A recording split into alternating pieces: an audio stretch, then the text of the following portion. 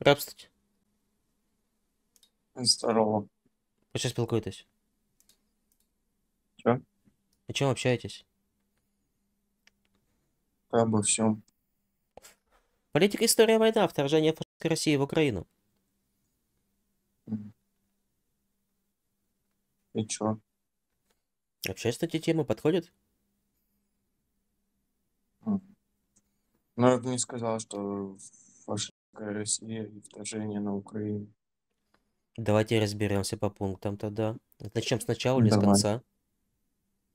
Да, как желаете, мне без разницы. Давайте с конца. Почему вы считаете, что Россия не вторгалась в Украину? Ну, потому что изначально в соседнем государстве случился военный переворот и захват Нет, вопрос власти. задал. Почему вы считаете, что Россия не вторгалась в Украину? Ну, Ваше и мнение, что там где-то что-то в другом государстве произошло, это я вас поздравляю. Но это событие в другом, которое никак не касается. Почему вы считаете, что ввод войск на территорию чужого государства не является определением вторжения? Слушай, как заявил классик, у нас с вами серьезный разговор? Или у нас шоу? После этого началось шоу, да, мужчина. Но тем не менее, Ну, задаю тут вопрос. просто, м, ну, тут просто все не так прямолинейно. Ну, З- почему вы здесь как считаете? бы- Да-да, давайте проведем здесь параллель. как бы- Давайте проведем параллель. Немцы здесь вторгались в Советский Союз или предыстория. нет? Тут не бывает прямолинейности. Немцы вторгались в Советский Союз или нет?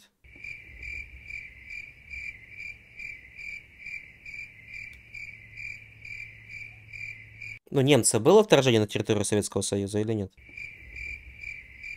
Но изначально было вторжение в Польшу, а не в Советский Я про, Союз. терри- я про Я- события на территории Советского историю. Союза. Немцы вторгались на территорию Советского Союза? Нет, изначально было вторжение в Польшу, а Я в про Советский 41 Союз. год.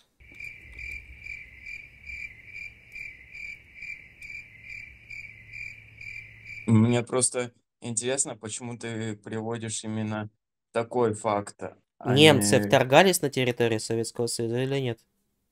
А почему ты мне в пример не приведешь Югославскую войну? Я потому что привожу тебе пример именно этот сейчас.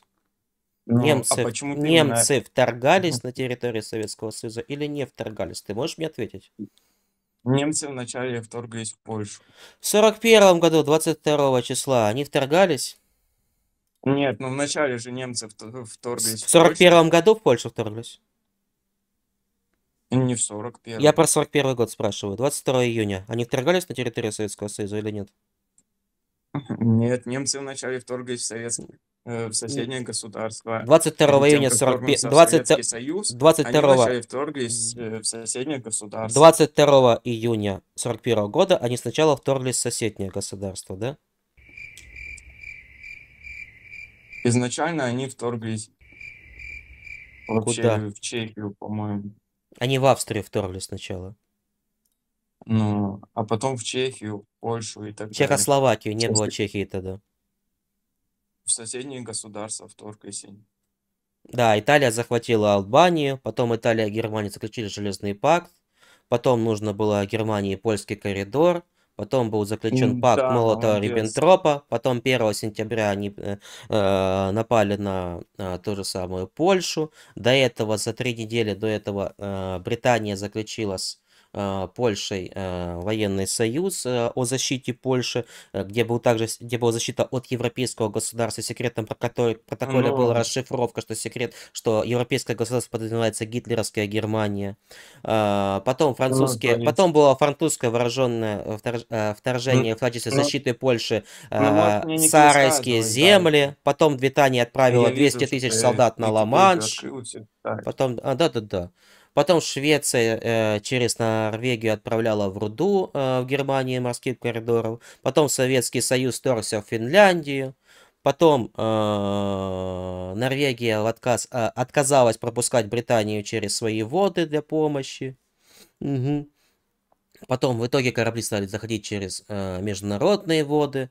Потом вторжение было в Данию через Норвегию. Потом Дерма- Герм- Британия туда стянула свои войска вместе с Францией. Потом аэродромы были захвачены, оборона провалилась. Я имею... И я тебе это все рассказываю, потому что в твоей цепочке произошло только один момент. У тебя в твоей цепочке э, Германия вторглась в Польшу, а после этого по твоей цепочке она вторглась на территорию Советского Союза. А мы еще даже до Чемберленда не дошли, который покинул свой пост, и на, на его место стал Гитлер. А еще до, а до, Советского Союза, напоминаю, еще не вторгается в Бельгию, чтобы напасть на Францию. А, на что французы а, с британцами заходят в Бельгию, чтобы защитить ее, но являются ну, разгромлены. А, потом оставляются Ордены, холмистое место. Французы, так как французы думали, что они будут непроходимые, Гитлер отправляет туда 50 дивизий. Британия, кстати, в этом случае достигла самых лучших результатов. Она благополучно смогла остатки своих войск эвакуировать с территории Франции. Потом Гитлер начинает обстреливать Великобританию. Э, на что Черчилль в ответ отправляет э, свои бомбардировщики, чтобы бомбить территорию э, германских заводов. А еще Черчилль отправляет тот же самый Алжир, чтобы удержать весь французский флот, чтобы он не достался Гитлеру. А у него сразу Польша, а потом Советский Союз. Здравствуйте, мужчина. Рабство. Вы откуда? Город-герой Харьков, Украина. Из какого вы города? Саратов. Саратов. О чем общаетесь? Ну, общаюсь о окончании а, государственности Украины. Есть предпосылки? Ну, есть факты. Можете, можете мне озвучить, что такое государственность? Государственность это когда э, есть территория, есть... Э, это суверенитет. Что такое государственность? Ну да, суверенитет. Что такое государственность? Да, я с вами согласен. Ну, сейчас обозначили. Нет, вы, вы назвали суверенитет, а государственность и суверенитет это разные вещи. Что такое государственность? Ну, это государственные институты, э, конституция и так далее. Ну, то есть Верховная Рада, президент и так далее. Украина скоро потеряет, Есть. Э, Украина скоро потеряет Верховную Раду? Да, Украина скоро потеряет как бы. Верховную и, Раду. В Украине больше не будет Верховной Рады. Раду. Да, да, да, да. Ну, по факту. Каким образом у нас исчезнет Верховная Рада? Ну, потому что у вас есть противоречие между Верховной Радой и властью президента. Потому что президент... Власть сейчас, э, президента? Момент, у нас парламентская президентская. Мужчина. У нас парламентская президентская. Верховная Рада э, выше, Я еще раз говорю, чем президент. Вы, меня будете слушать или как бы у вас там свои какие-то темы? Я пытаюсь понять, о чем вы. Просто вы говорите, что есть разногласия, Я но Верховная Рада старше, чем президент, она выше уровнем. Если есть разногласия, окей. то тогда президент окей. э, убирается. Окей, окей, окей. Но вы же сказали, что государственность – это Верховная Рада. Есть предпосылки, что у нас Верховная Рада не станет? Ну, давайте так. У вас э, э, есть предпосылки и по факту. Какие? У вас, э, по поводу чего? Нелегитимен. Нет, легитимен. Он, я еще раз говорю, он нелегитимен. Можете обосновать, доказать это? Конечно. Согласно конечно. какой статье он нелегитимен? Ну вот по какой статье я не могу обосновать. Тогда как вы, откуда ну, вы знаете, факту. тогда с чего вы взяли, что он нелегитимный? Ну у вас какие-то есть другие варианты? Да. Он у вас легитимен, что ли? Да. Что-то не понимаю. У него срок э, легитимности закончил? Не закончился. И он э, легитимен, что ли? Да, не закончился. Как? А вы специалист по Конституции Украины? Ну, давайте я сейчас открою Википедию и Э, и, и, и, это, э, Конституцию Украины, и там будет то же самое. Что будет? В какой статье будет то же самое? Ну, давайте я сейчас открою. Давайте откройте. Что вы хотите? Вы считаете, что у вас э, президент легитимный, что ли? Я не считаю, я это знаю. Но согласно с какой статье, скажите каким, тогда. согласно какой статье вы решили, что он нелегитимный?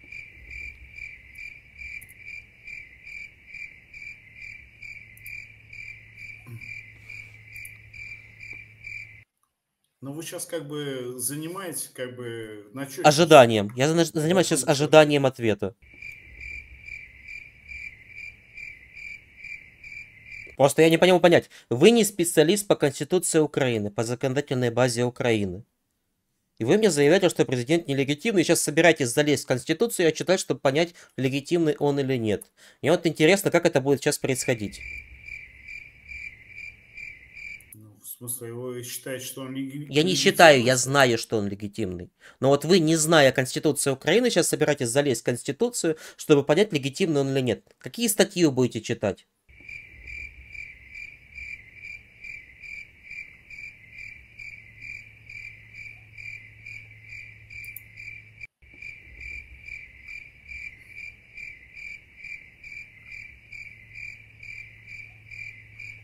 Ну, вы мне ск- скажите, как бы готов, э, ну, свое мнение поменять, если Я бы вы начал со статьи другой 92 вариант. 19 пункту.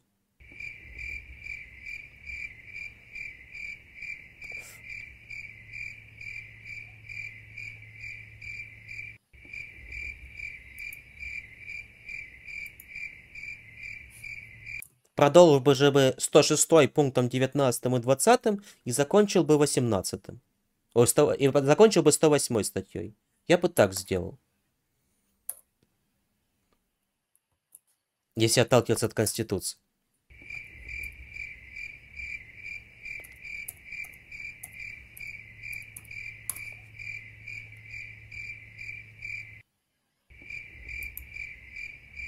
Ну, то есть вы считаете, что... Я не считаю, я знаю. э, Вы мне задали президент- вопрос, вы не Нет, зная, смотрите, вы не- зная Конституции Украины, начали утверждать, что он нелегитимный, и сейчас залезли в Конституцию Украины, чтобы понять, легитимный он или нет. Я задаю вам вопрос, какие статьи Конституции вы собираетесь читать, вы мне задаете вопрос, какие бы я посоветовал. Я говорю, я советую начинать с 92 продолжить 106 19 20 пунктом, а закончить уже 108 статьей. Это если отталкиваться от Конституции. Потом уже перейти на законы. Вас сказал Ко мне обращается Олег. А к вам обращаться как? Андрей. Андрей. Олег, Так. э, я это, ну, как бы не буду сливаться, там, ничего. Я сейчас посмотрю, Ага. какая ситуация, как бы, ну, по факту. Потому что, э, ну, у меня есть информация, что э, Зеленский, как бы, уже вот на данном этапе, он нелегитимный президент. Откуда у вас эта информация? Ну, из э, источников, Каких? которые, как бы, вот... э, Единственный источник, который может Ну, определить... ли- Телеграм, там, и так далее. Единственный источник, Вот. который может определить, легитимный он или нет, это Конституционный суд и Верховная Рада. Ни постановление Хорошо. Конституционного суда, ни постановление Верховной Рады о легитимности Хорошо. или нелегитимности него президента нету. Подождите. У него есть определенные как бы сроки полномочий. Нету. Вот. Есть эти. В смысле нет? Есть такой принцип, на, котором, на основе котором базуется э, Конституция. Вот в Украине это принцип институционной непрерывности. Это было постановление еще, э, если не ошибаюсь, сейчас скажу точно, э, 18 года, 5 пункта.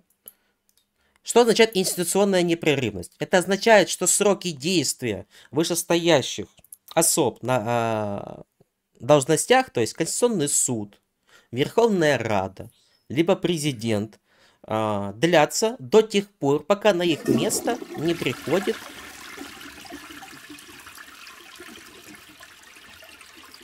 до того момента, пока на их место не приходит преемник. Ну, как бы не буду срываться, там ничего. Я сейчас посмотрю, какая ситуация, как бы, ну, по факту. Потому что, э, ну, у меня есть информация, что э, Зеленский, как бы, уже вот на данном этапе, он нелегитимный президент.